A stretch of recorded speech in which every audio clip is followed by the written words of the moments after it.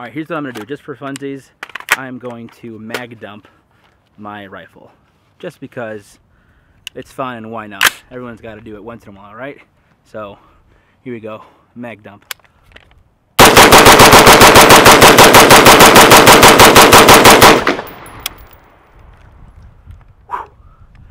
Feels good.